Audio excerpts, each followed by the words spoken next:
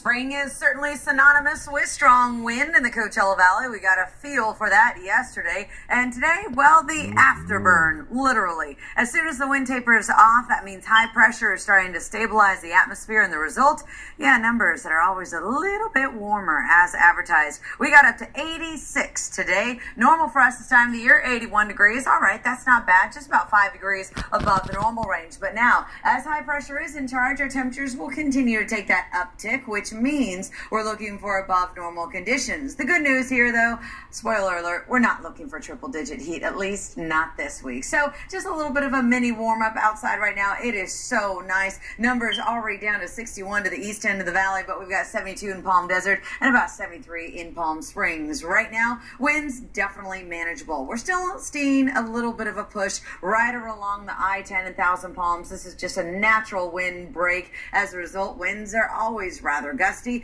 and we're looking for those double digit winds through this evening. By tomorrow, though, as you can see, the sun comes up and the winds go down. We're looking for single digit wind. This is a sign that not only will the offshore flow be taking over, but high pressure is going to keep that uh, the coastline nice and clear. Warm air is going to start to ooze across the region, resulting in numbers that are, yeah, a little bit elevated. That's all because we've got a cold front coming in. Remember, warm air precedes a cold front, and as that cold front uh, gets gets down into our neck of the woods. Get ready for more wind on Thursday and, yeah, slightly cooler temperatures. So, tomorrow, nice little midweek warm up. Temps are going to be in the upper 80s. We'll stay there through Thursday. A lot of wind. Thursday night's going to cool us down, well, to about 80 degrees below the normal range on Friday. But we're going to warm you right back up. 90 degrees in the works for you by Sunday. We'll call that pool weather. Absolutely. Enjoy. Thank you, Ginger.